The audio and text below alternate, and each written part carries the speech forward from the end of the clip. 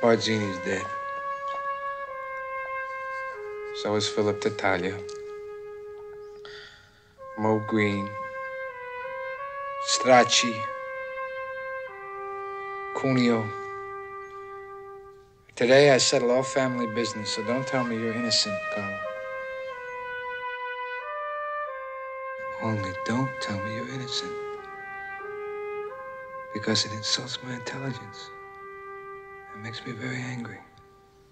And now you want to gun down a police captain? Why? Because he slapped you in the face a little bit? You're taking this very personal. It's not personal. It's strictly business.